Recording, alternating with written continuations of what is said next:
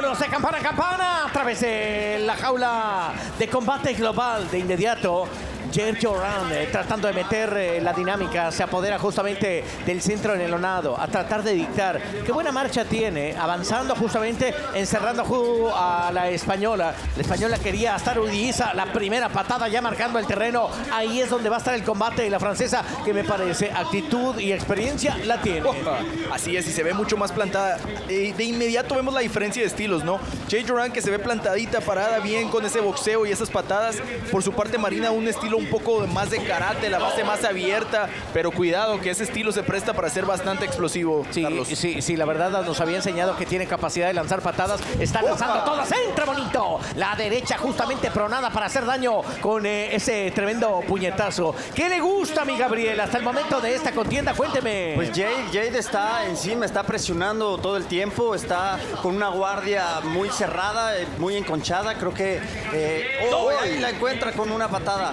Este, la verdad es que creo que Jade está, está presionando mucho a, a- a la española y bueno, ya, ya la agarró con, con- con un derechazo. Sí, la verdad es que lo dices bien. Las dos pa- patean bastante bien. Ya vimos a Marina. Extendió la patada, lo hizo bien. Entró justamente por el medio Leo. Y Marina cambiando de guardia constantemente, ¿eh? lo cual hace que sea una mujer escurridiza, No. pero enfrente la francesa, la auténtica princesa de la maldad. ¿Viene con qué, Mizar? La verdad es que sí, le metió jiribilla a su trabajo. ¿Y a qué me refiero? Ataca con nudillos pronados. ¿Qué quiere hacer con esto? Noquear, pegar fuerte. Tiene buen paso para atrás, lo acabamos de ver. Patadas envolventes, justamente en giro, pero sé que se quitó de gran manera. Y apenas dan dos minutos. Y nos han dado una buena contienda hasta el momento, Pube. Así es, hasta el momento buena pelea que nos dan, buena combinación ahí por parte de Jay Joran. Y hace un momento comentaba, ¿no? Esa base amplia que tiene Marina le permite hacer eso precisamente, esas patadas frontales explosivas como de tipo karate, ¿no? Es un encuentro de estilos muy impresionante y vamos a ver,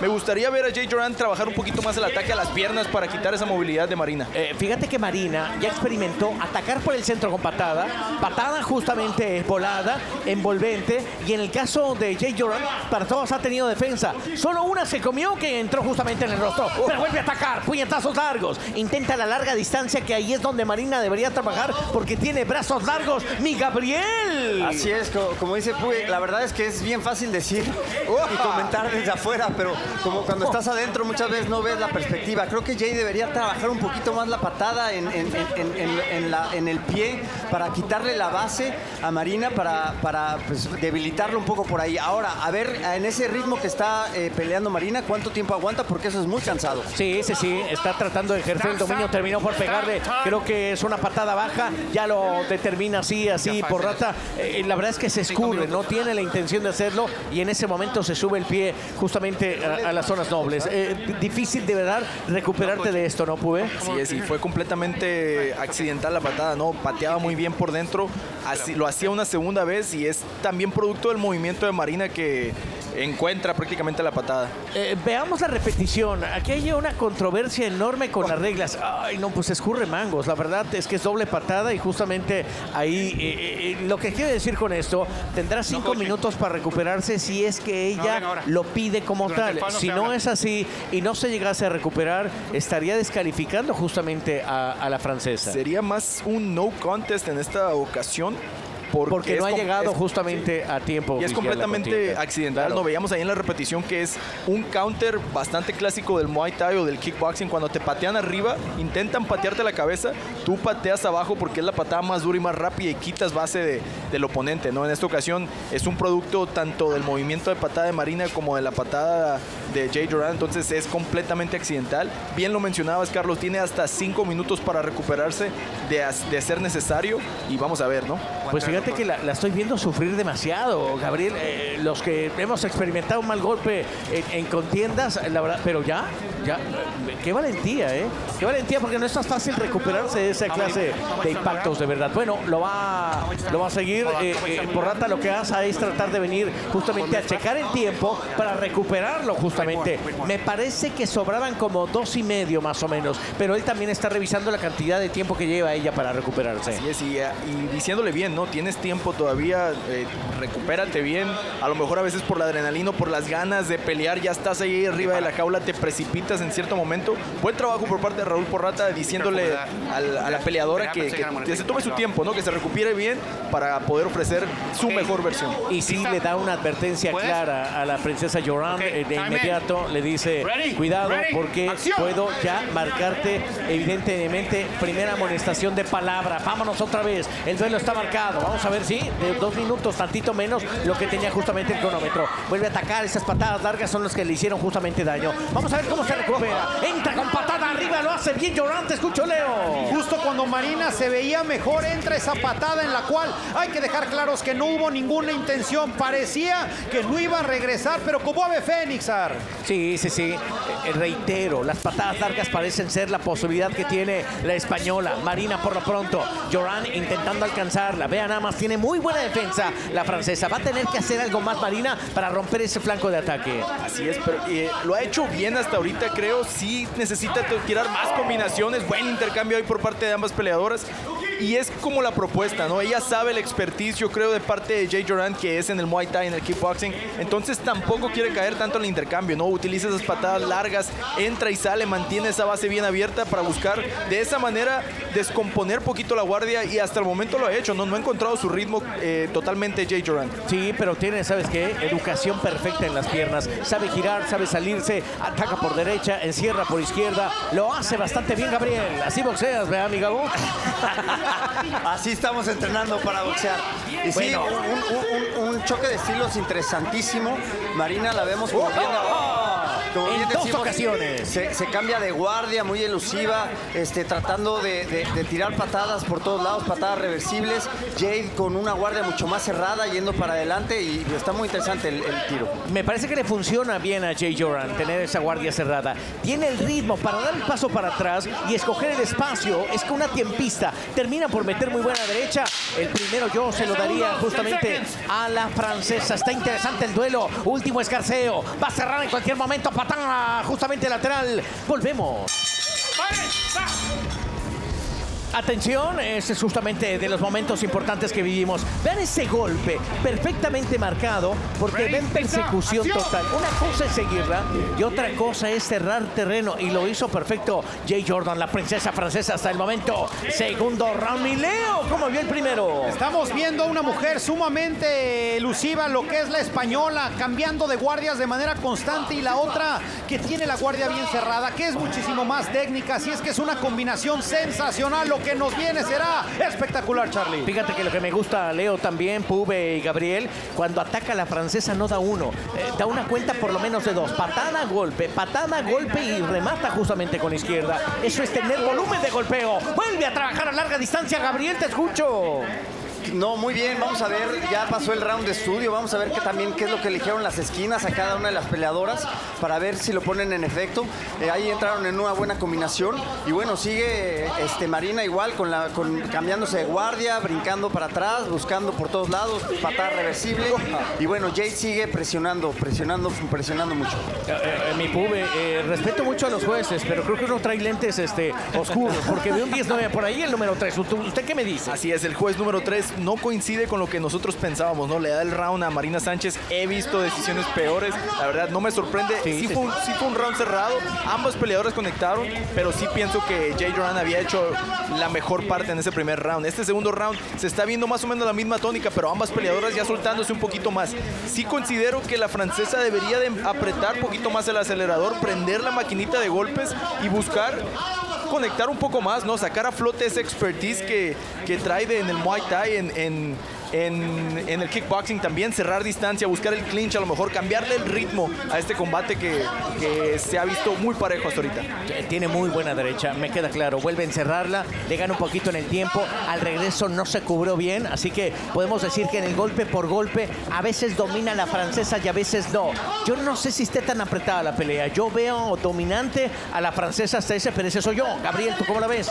¡Oh! Entraron las dos, ponían una derecha sabrosa. Intentaba justamente la española, le dio en la vuelta. La española empieza a meter una carga importante el contragolpe, Gabriel. Sí, como dice Pube, creo que la francesa debería empezar a, a- a intentar cosas diferentes, ¿no? A lo mejor, como bien dice, un clinch, a lo mejor rodillazos, no sé, cambiar un poquito el estilo de la pelea para, para tratar de presionar todavía más de lo que ya lo está haciendo. Eh, Fíjate que metió un golpe importante la francesa, una patada justamente en la entrepierna, la congela un poco, empieza a dolerle, empieza a marcar ese camino Marina Mileo.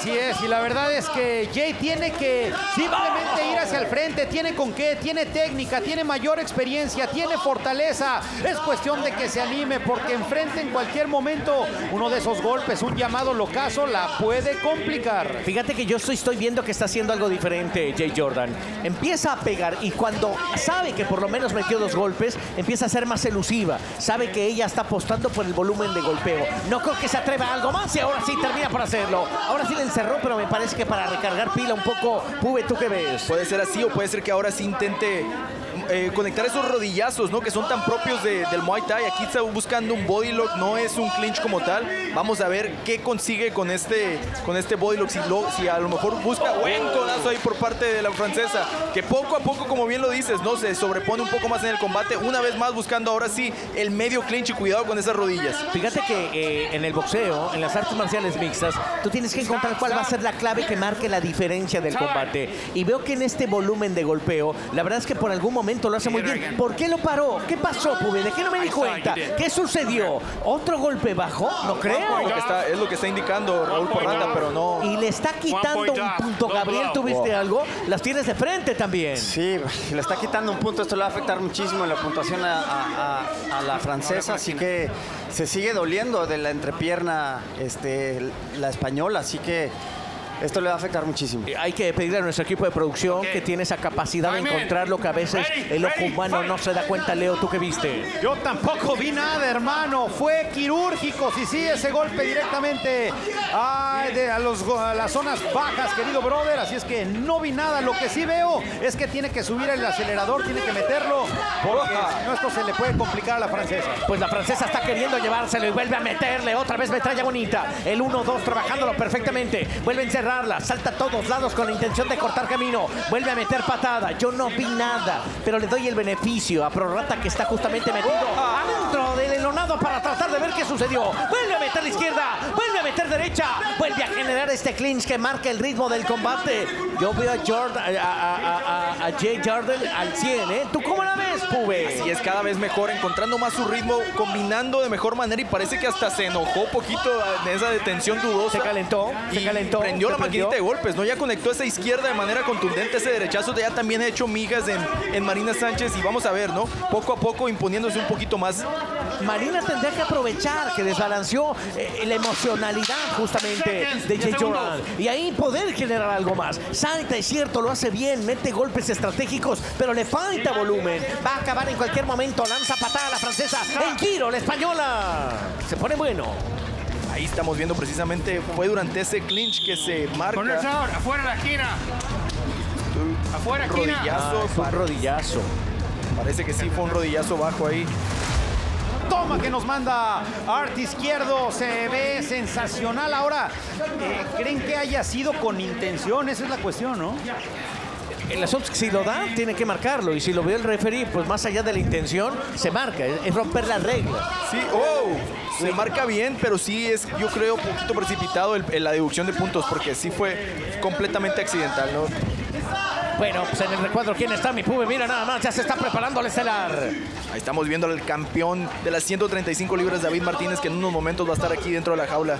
Sí, ahí está justamente Black Spartan. Por lo pronto, la patada, la patada fue enorme, de verdad pasó cerquititita del rostro por parte de Marina, que dice, hay otro más, lo demanda ella. ¿Qué vio, mi Gabo? Sí, estoy, estoy eh, clavadísimo viendo el combate. Creo que, creo que Jade no puede, eh, tiene que noquear, tiene que noquear, como dicen, no hay que dejarlo a la decisión de los jueces. Este, tiene que presionar más y tiene que darle un golpe a- con tal de noquearlo. Tú estás clavadísimo viéndote, pero Marina está clavadísimo viéndote a ti. O sea, eh, eso está más, eso está más cañón. ¿eh? Bueno, por lo pronto, aguados porque sigue atacando. Entra la francesa. Doble golpe, primera izquierda, derecha, derecha, en dos ocasiones. Tiene una gran técnica la francesa. Me parece que si los jueces no salen con algo eh, verdaderamente raro, esto tendrá que estar. Y hablando de los jueces, ay, ay, ay, ay, ay. El tercer juez dice, mira, ni siquiera le dio el beneficio de la duda. Los jueces la tenían entonces 10-8 en el pasado, 10-9. Es por ajá, y le empata. El primer round se lo da el tercer juez a, a Marina Sánchez, el segundo round por la deducción sigue arriba.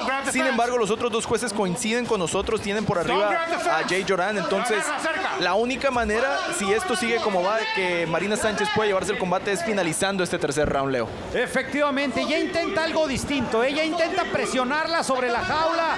Es lo que está haciendo la francesa. Mientras tanto, habrá que ver cómo, cómo sale de esta trampa la española. Que, híjole, yo la verdad no le estoy viendo ganar un solo episodio, Mizar. Sí, sí, sí, yo coincido contigo. Me parece que la francesa está manteniendo bien su estrategia.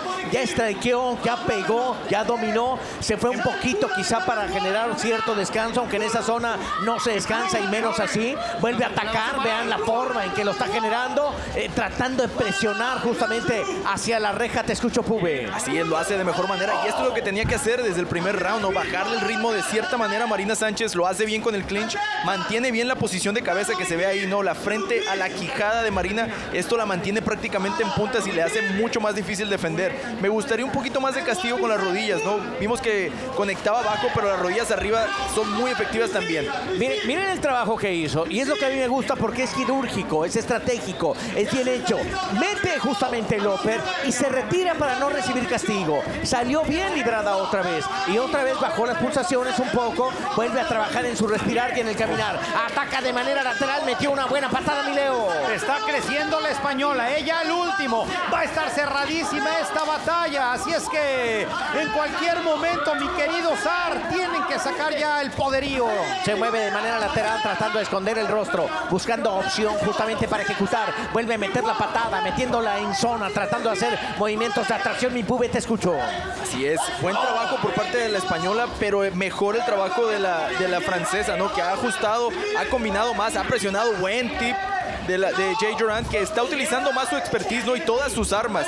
Ese clinch le ha dado bastante, bastante ritmo a la francesa y cuando se separa, cuando crea poquito espacio, también conecta muy buenos Y golpes. mira con el hombro, empieza a atacar, empieza a meter, que también Marina empezó a ejercerlo también. Marina trató de levantarlo, la de chica de Barcelona, la española, trata de agarrarse justamente de la reja y de inmediato por rata le dice que no. Mi Gabriel, te escucho. Una pelea muy, muy cerrada, sin duda alguna.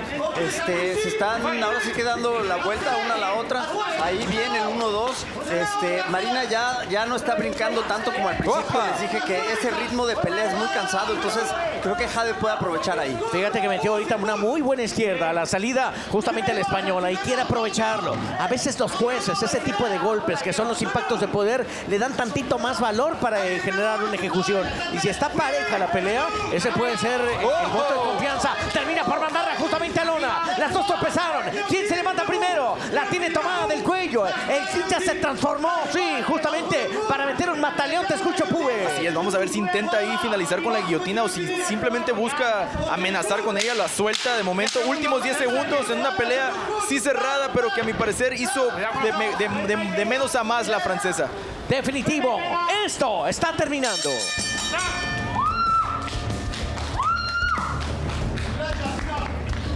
Completamente, yo creo que accidental. No sé si lo suficiente para, para quitar el punto, pero bueno, es criterio del referee. No sé si sea suficiente. Ahí estamos viendo los últimos Ahí se momentos. queja de otra. Y la verdad yo no veo que le dé. Yo la vi al abdomen, ¿eh? Claro, le el vi al abdomen. abdomen. Ahí se queja de No otra. se queja, ahí la lastimó. Estuvo a punto de terminar la, la pelea. Damas y caballeros, después de tres vueltas, el juez Vicente Rodríguez anotó 28 a 28, un empate after three rounds. Judge Vicente Rodríguez scores it 28 to 28, a draw. Superado por los jueces Eliseo Rodríguez y John Rupert, que entregan tarjetas idénticas de 29 a 27. Overruled by judges Eliseo Rodríguez and John Rupert, that turn in identical scores of 29 to 27. In favor of the winner, by way of majority decision a favor de la vencedora, por decisión mayoritaria. the princess, J. Gerard.